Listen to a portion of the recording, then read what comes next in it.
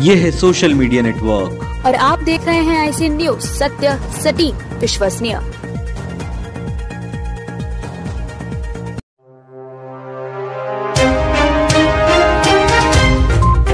नमस्कार IC news में आपका हार्दिक स्वागत है और मैं हूँ आपके साथ मीनाल व्यास श्री राम जन्मोत्सव पर निकली भव्य शोभा यात्रा।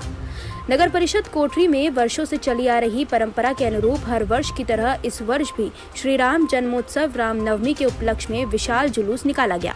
लेकिन इस बार का जोश कुछ अलग ही था। इस बार अयोध्या में श्री राम जी के मंदिर निर्माण शुरू होने के कारण भक्तों के हर्षोल्लास में कई गुना वृद्धि देखने को मिली।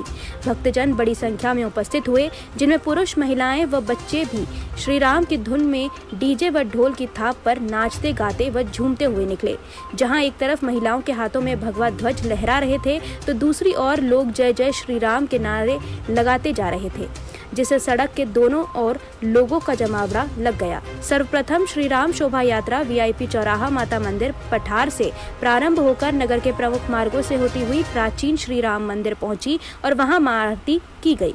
श्री राम रथ यात्रा का नगर में विभिन्न जगहों पर स्वागत किया गया। फूल वर्षा की गई तथा गुलाल से सड़कों को सराबोर कर दिया गया। वहीं प्रमुख दुर्गा उत्सव समितियों द्वारा जगह जगह कन्या भोज के आयोजन व भंडारे भी हुए।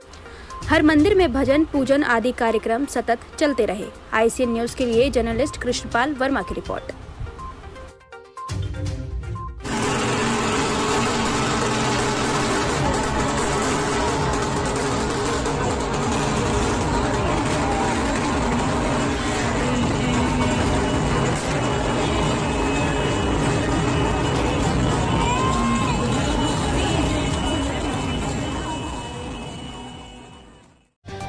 सत्य सटीक एवं विश्वसनीय खबरों के लिए हमारे फेसबुक पेज को लाइक करें।